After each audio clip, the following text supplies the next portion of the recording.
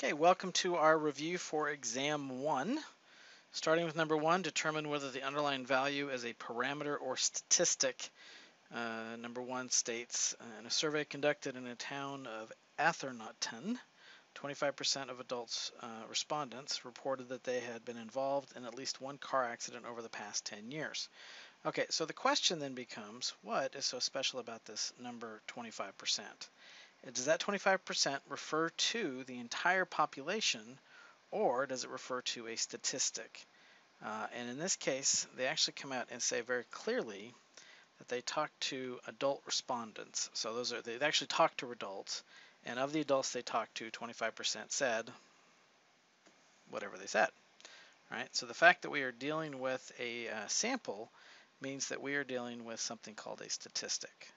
So this 25% refers to statistic. Uh, number two, 28.2% of the mayors uh, of cities in a certain state are from minority groups. Uh, in this case, uh, they are referring to the population of the mayors. Population of the mayors. So population of mayors. Um, so because it's dealing with a population measurement, we would refer to this as a parameter.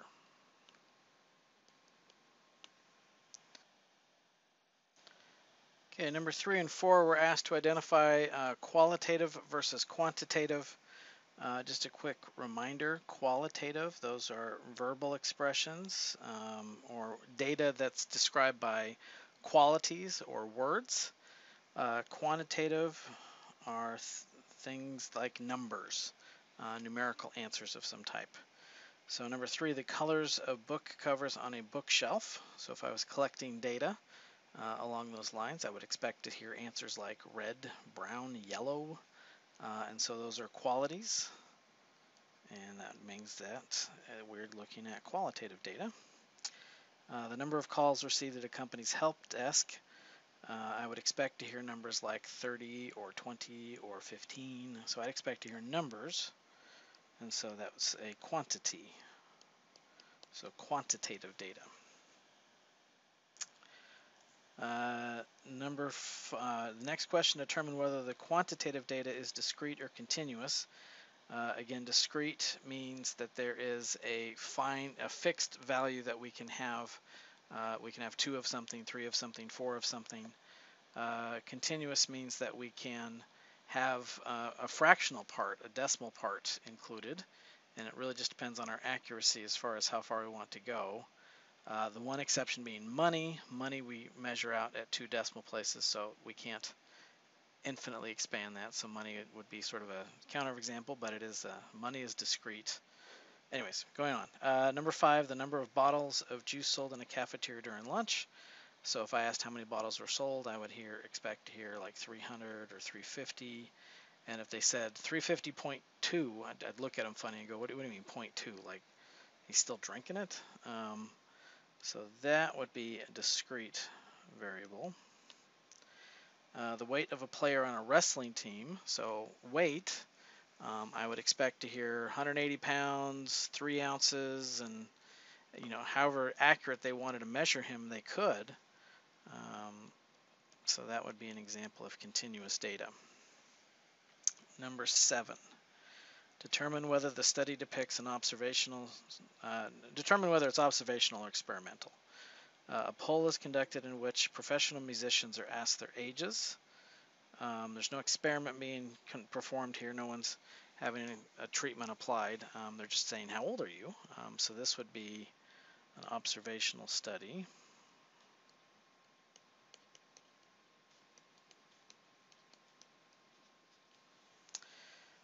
Uh, number eight, uh, scientists scientist was studying the effects of new fertilizer on crop yield. She randomly assigned half of plots on the farm to group one and the remaining to group two. On the plots in group one, the new fertilizers. Okay, so now she's putting fertilizer on something. So she's actually changing something, uh, applying what's called a treatment. So this is clearly an experiment of some type.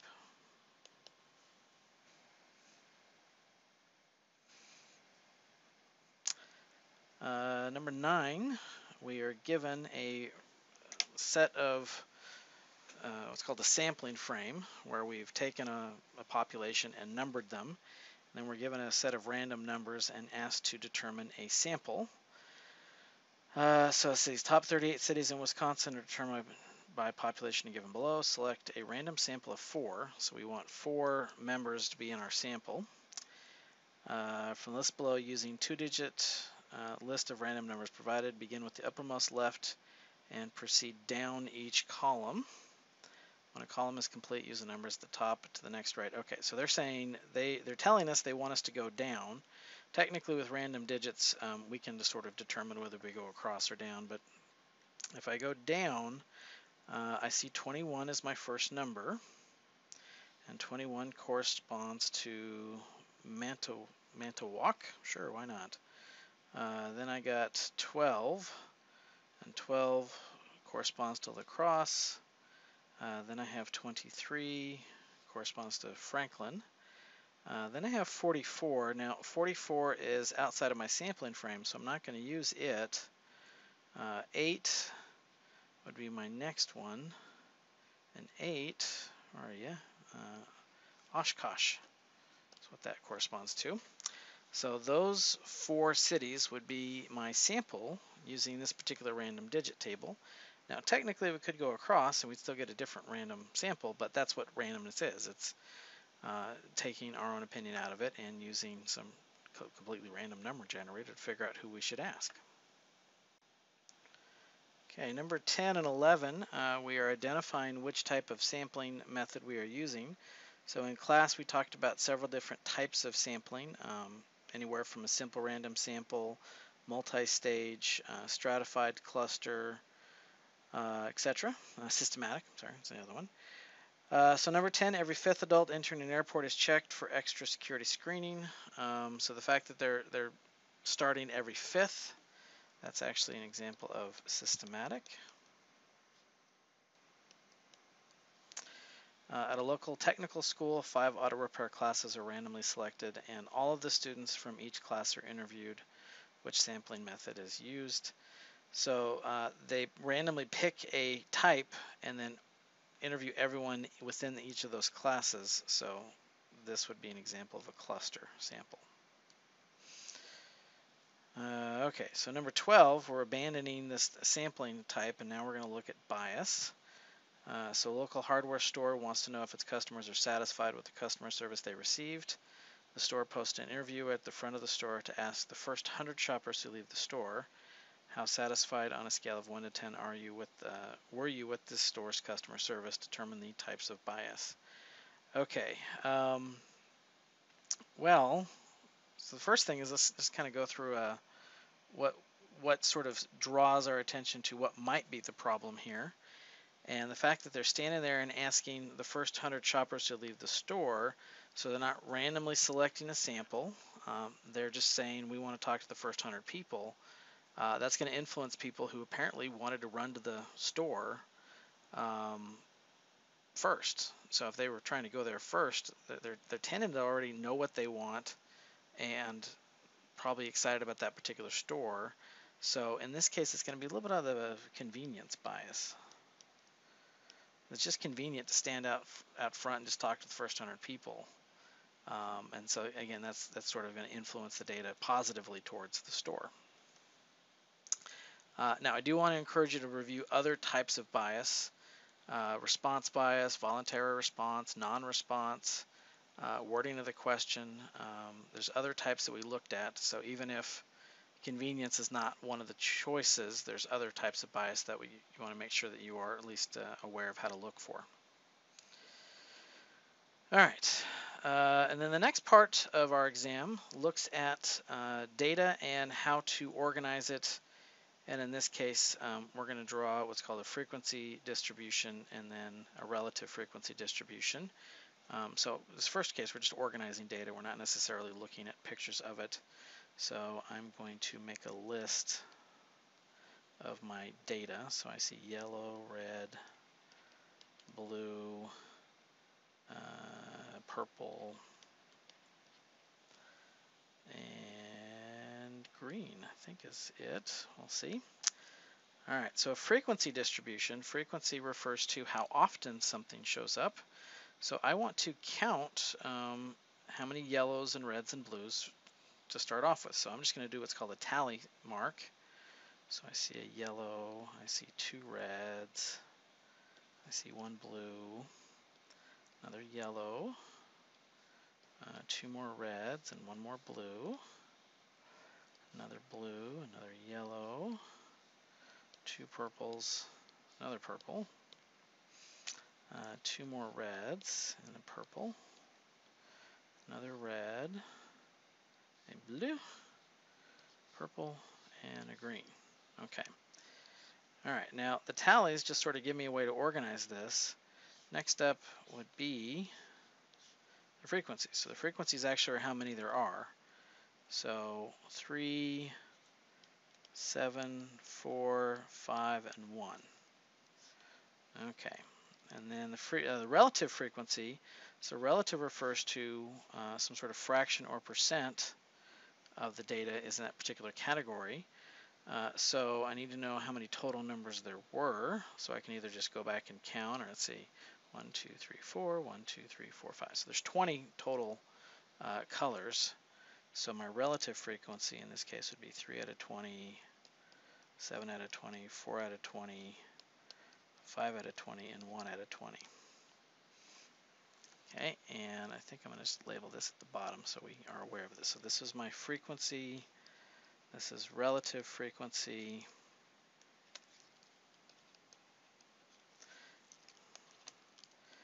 And I'm gonna I'm gonna keep going just for a second because we did look at other different types of ways to organize this.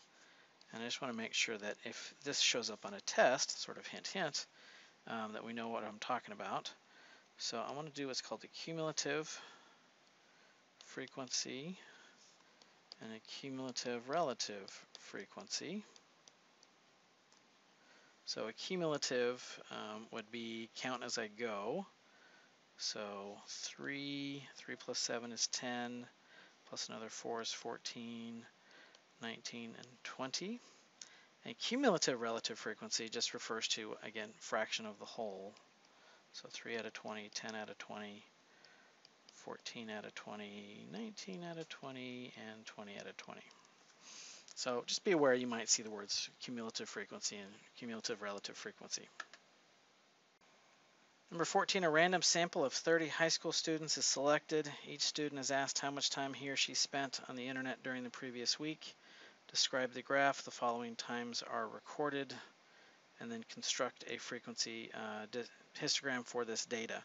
Uh, so the first thing I want to do is I just want to organize this. Um, now I would I could just type this in my calculator or I could just type it in Excel.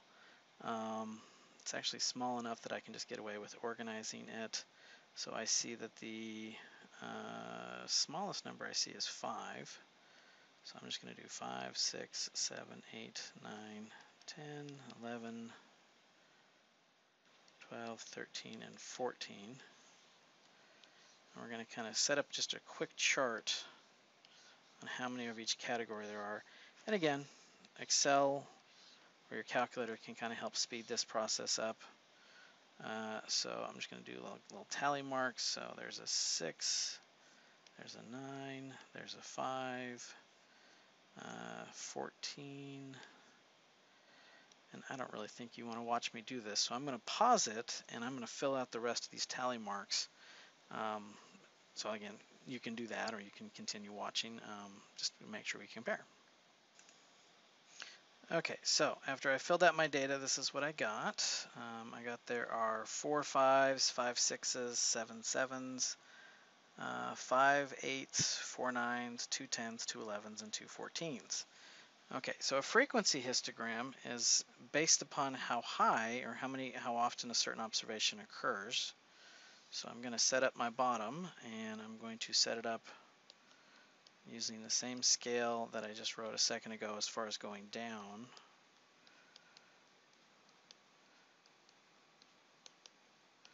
And 14 and it looks like the highest uh, is 6. So 1, 2, 3, 4, 5, 6. Okay. Uh, 1, 2, 3, do that. Okay. So then what I want to do is above each number, I want to center a rectangle that's uh, that's the same height as the, the frequency there. So there are four fives. So we'll do that. And there are five sixes, so a little bit higher. And there are seven sevens, or six sevens, I'm sorry. Uh, eights have five. Uh, nines have four. Tens have two. And 11s have two. And then 14 has two. Okay, so that's our frequency histogram. Uh, and then there's this little phrase that showed up right in the middle um, that I want to emphasize. Uh, describe the data. So anytime we're asked to describe the data, we want to look at four sentences. Uh, we want a CUSS. Uh, I want a number that represents the center. And now for this particular exercise, I, I want to just mention that this is going to be an estimated thing. I realize we could type all of our numbers in and get the actual mean um, or median. Um, and that's actually a good review question is what should we use? Uh, but we, again, we're just going to estimate this um, on this part because on the test, um, I'm actually going to give you a graph of this and ask this sort of question. I'm going to give you some raw data too, but uh, so the center appears to be around 7 and 8. Uh, now there is some skewness to this. So I would say um, that we want to go with uh, what's called the median. And with the median, I want to do what's called a, uh, a cumulative frequency. Just a second here. So I'm going to count how many there are and then count up, knowing that there's 30 numbers. So uh, let's see. So we start off with four fives, then we add another five, so that puts us at nine. Then we add another uh, six, puts us at 15. That's 19, 23, 25, 27, and 29. Oh no, I'm off a number. Oh, that's terrible. Um, I'm still okay. I'm still okay with it. I'm gonna leave it like this. Um, okay, so if there's 30 numbers, then the median should occur right around 7. So the median's going to show up right about here in my chart, which is what, what it shows up kind of for me as well. So I'm going to say the median's about there. Uh, so I'm going to say that the center of this data, the median, is about 7. And the reason why I said median is it's skewed data. So there's a, an outlier it looks like, and that's another category we'll talk about. So anytime we're looking at skewed data, I want to use the median to describe the center.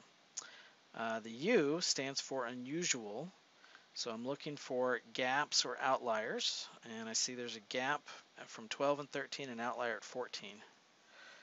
So I'm just going to say that gap at 12, 13, and it looks like an outlier at 14. Uh, then we have S and S. So one S stands for shape, the other one stands for spread. So shape, uh, we already said it's skewed. Uh, and now I can add a direction to that. So it's actually skewed right. Uh, skewness, of course, is defined by the tail of the data. And the last one is spread. Now, spread could be uh, standard deviation. It could be IQR. It could also be range. And since I'm, I'm not basing this off the numbers, I base it off the picture, uh, I'm going to say that the range is from 14 minus 5, so that means that the data has a range of 9. Um, there we go.